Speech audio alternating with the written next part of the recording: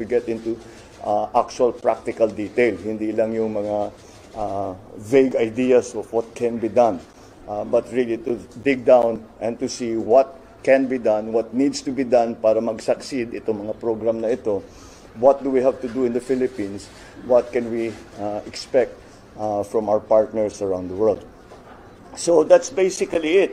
Um, uh, except for uh, some of, I think the, yung hina- inaantay nyo talaga yung mga appointment. No?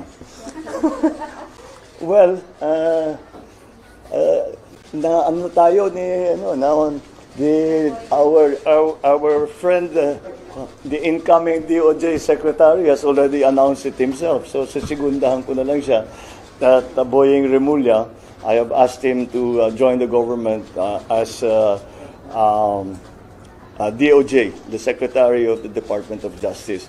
Uh, I think he'll be very good. He has, uh, as you know, he has a, a good, uh, a great many years of experience in government. Number one, and he's he's a, what many people do not know is that he's actually a very very good lawyer, uh, and so I think he will fit uh, very nicely into the into the DOJ. Uh, I guess we can talk about our last meeting already. Uh, I had over lunch uh, the former Secretary Laguesma of Dole uh, and Tuts Ople um, to talk about the labor segment, both Dole and the new Department of Migrant Workers. Uh, so uh, our new uh, my, my nominee for Dole is going to be um, is going to be the former secretary, former Secretary Laguesma, uh, to return.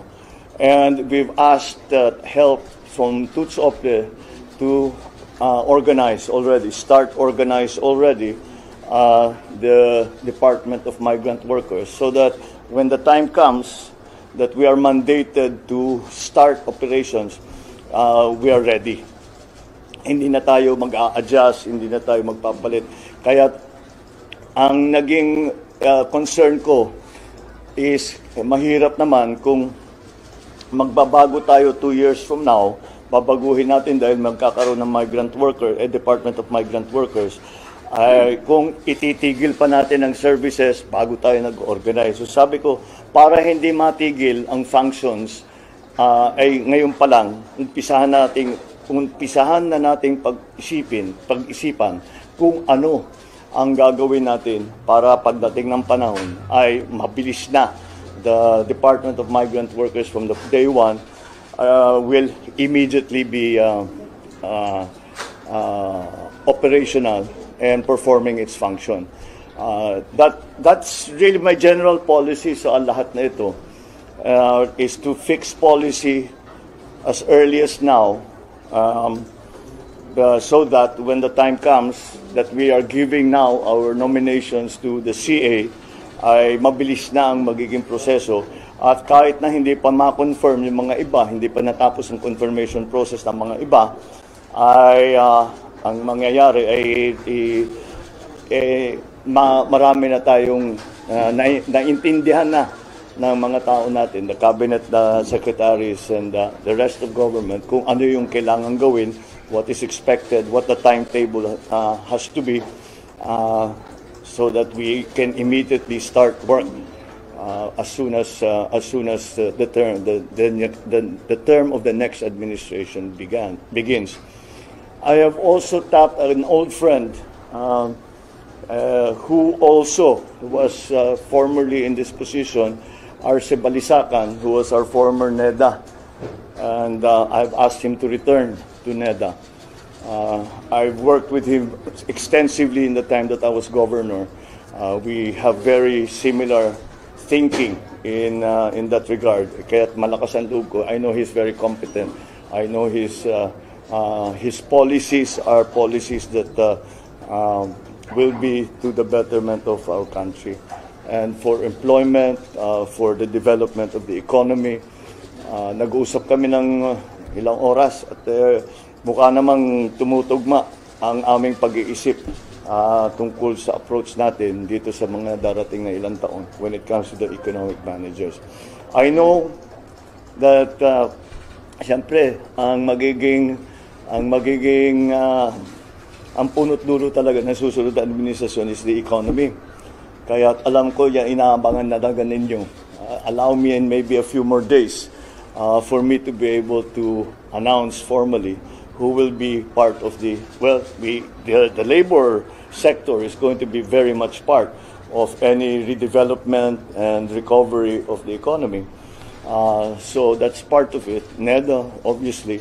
Uh, I've, the, in, sa NEDA, having come from governor, eh sabi ko dapat ibalik natin yung tunay, yung primary function ng NEDA.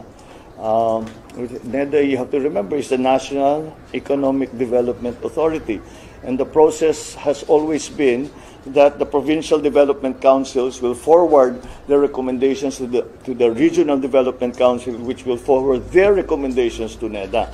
Hindi na nasunod yun. Uh, kaila, kailangan natin maibalik because again, being a proponent of local government, we need to hear from local governments so that we our, our what we do at the national level is relevant to the needs uh, and the concerns of local government. Um, uh, so that's it for now. I think that uh, uh, I think that that's uh, that that's enough to, get, to be getting on with.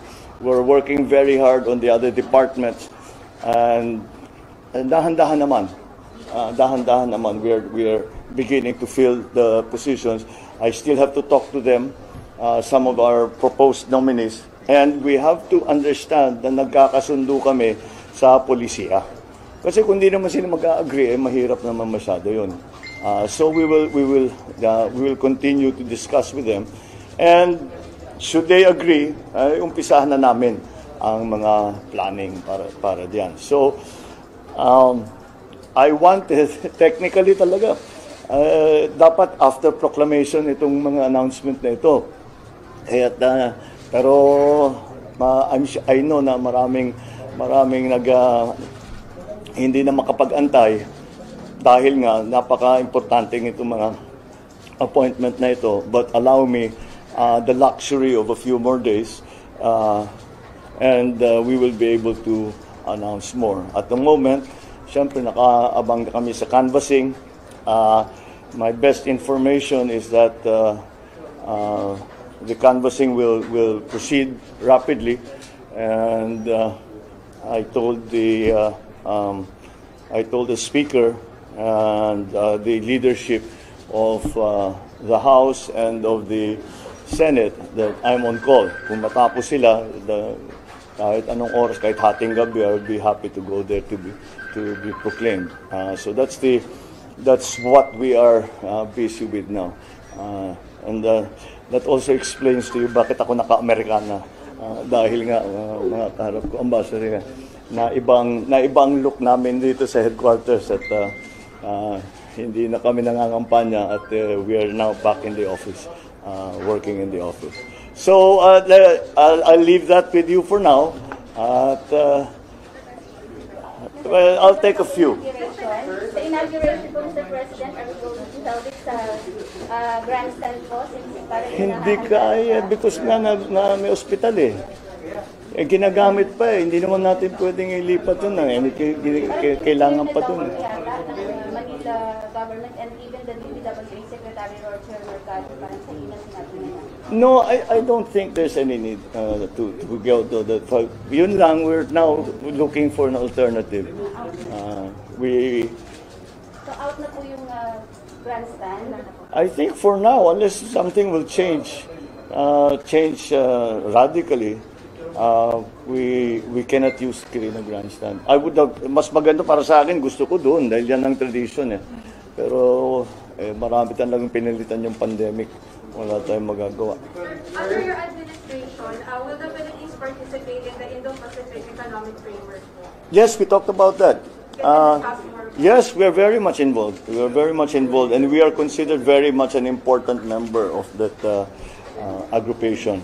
Uh, so the some of the elements of the Indo-Pacific regional uh, treaty are going. Uh, we spoke about with the different uh, with the different ambassadors, uh, most specifically with the American charge. So yes, we will be involved in that. Sir, House Majority Leader has said that. uh, I'm sorry. House Majority Leader Romualdez has said that. Okay, I'm sorry. I'm really. Hello, sir. House Majority Leader Romualdez has said that um, a stimulus measure is among your top priority legislation Yeah. regarding the Congress, sir. Sir, may we know, sir, if you think that the government still has funds to, to fund uh, another stimulus uh, package, and then, sir, uh, given that the 90% of the 2022 budget has already been dispersed to various agencies. Yes, uh, there, there are slight there are slight differences because although it has been disbursed, uh, uh, not all of it has been spent. So meron pa tayong breathing room, pero konti na lang. Uh, and so that's why we will have to look uh, to the new budget, the budget for 2023, which is presently being written. Uh, we have to look at, at that to um, to find sufficient funds for the things that we want to do. Talaga, uh, basically, uh, move some public expenditure away from non-investment expenditures to more investment-led expenditures. Uh, again, to revitalize, to really retool the economy. Sir, you're also open to helping selling government assets, which is the area and a portion of Manila Bay as proposed by Congressman Salceda to, to pay for the country's debt. I'm always very wary of selling government assets. So as a matter of principle, I'd rather not. Uh, so, yes. Sir, just a follow-up, how do you think the Philippines will benefit from the Indo-Pacific Economic Framework? Well, it's going to be because now, as I said, the survival and the stability of the global economy, or even just the regional economy, is going to depend on the partnerships we make with other countries. And that's why that's going to be very important. We have to open as much of the economy as we can to trade. And that's where these uh, kind of treaties come in. Okay? Thank you. Maraming salamat.